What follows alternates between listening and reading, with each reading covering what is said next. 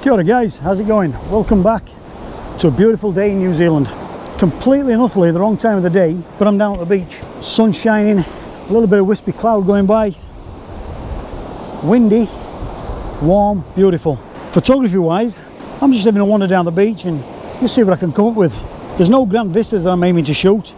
Like I say, we've got some lovely headlands, which would make some great shots at the right time of day, but this is not the right time of day. Just because I'm having a little bit of a walk, and a walk is always better with a camera in your hand. I've brought out the Leica Q2 again. I'm just looking for little shots on the beach. You know, a little bit of jetsam and flotsam, that sort of stuff. Seaweed, shells, anything. Driftwood, you name it. I'm going to try and make 10 shots. That's, that's my target. I want to try and make 10 nice shots. Now I'm going to employ the Q2's macro mode quite a bit today. And let's start looking for potential subjects. There's plenty, there's loads.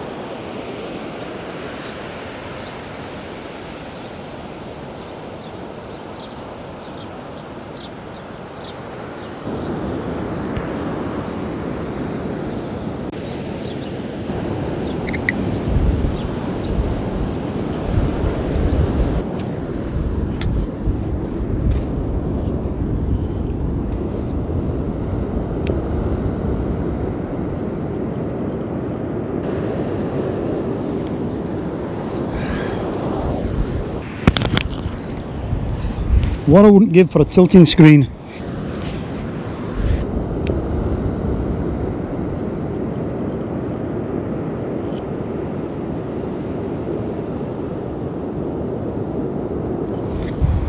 So from the rocky sea break to some old corroded, rusting rail tracks.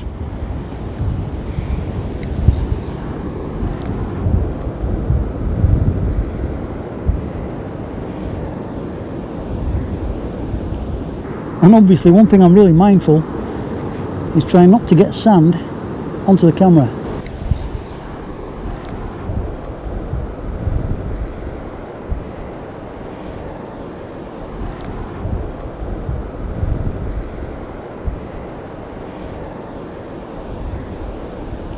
Another section of rail tracks here with a little bit of greenery growing around it. And I think this will probably be a normal shot take it out of macro not overly keen on that to be fair, quite messy. So I'm going to slip it back into macro, one section of the leaves with all the rusty corrosion around it. And I think that suits this particular shot much better. Let's have a look. It's quite hard to see on the back of the screen because it's so bright. I'm going to start treating this like a film trip.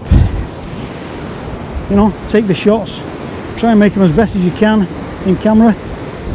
But obviously a film camera you can't review them you can't say yeah that works that doesn't and adjust it. What you get is what you get.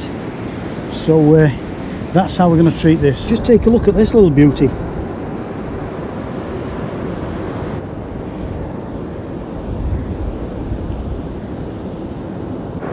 Now what we've got here is a Smurf's condom. And it's still alive. It's potentially some sort of jellyfish.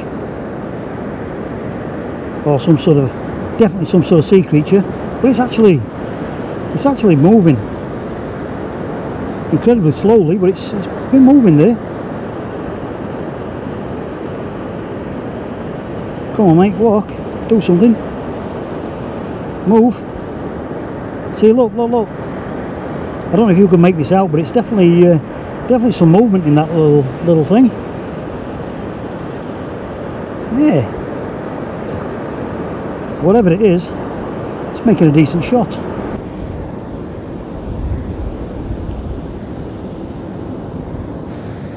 And here we have a series of natural rocks as opposed to the seawall rocks that start there and run down the beach. From this end, it's all natural. With the textures and patterns, this will add to this afternoon's little collection. It's quite a interesting little rock, boulder.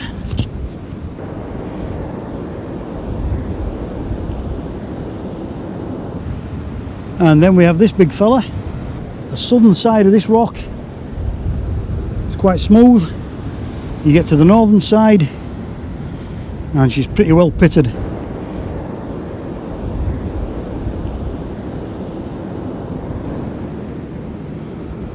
There's another one there half buried. I'm pretty sure these are part of the spherical concretions that are further along the northern side of the beach. I'm sure this lot would keep any geologist quite happy. Coconut there actually, coconut. I don't know if there's any coconut trees around here, but there's definitely a coconut there. I'm really enjoying the flexibility of the built-in macro lens. It's opening up a new world of potential for me. It's something, macro is something that I don't really I've never really been into it. It's not kind of my thing. But when there's not a lot else to shoot, you know, the big vistas aren't here, all the vistas are here, but the uh, the conditions aren't. It's too bright, it's too harsh at the moment. Look for small stuff. If the big if the big stuff's not working, use the small stuff. That's what I say.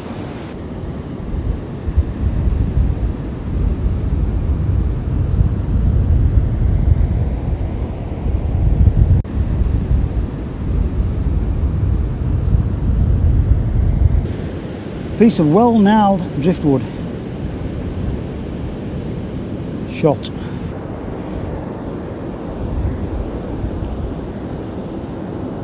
I'm quite liking this half buried lump of wood, all gnarled up, nicely coloured.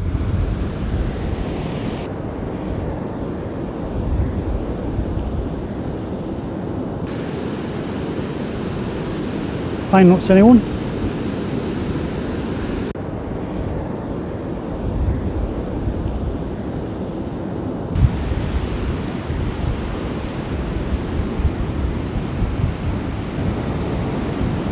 Freedom camping area. I've parked down there numerous occasions and some cracking nights here. So even better mornings when we get a stunning sunrise over the Pacific.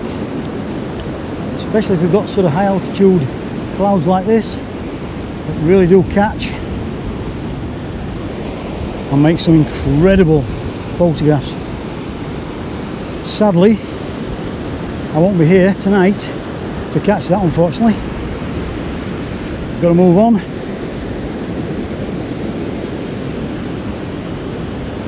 So I'll make the most of it while I'm here.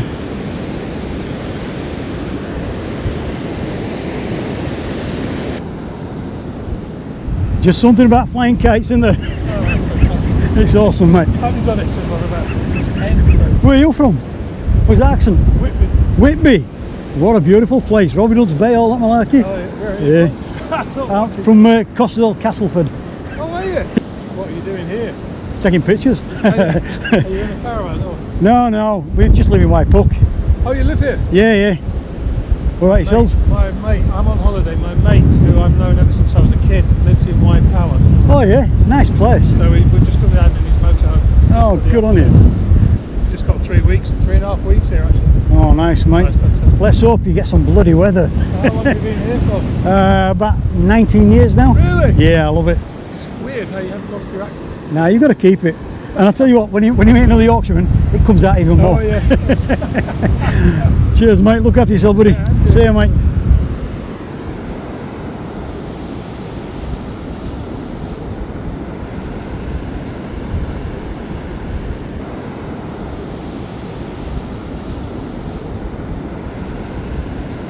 Really is something pretty cool about flying a kite. Something I've not done for many, many, many years. I want to buy my granddaughter a kite. That's my idea. Well, I think that'll do for today, photography wise. Just going to get my butt sat down, have a feed, relax and enjoy the rest of the day.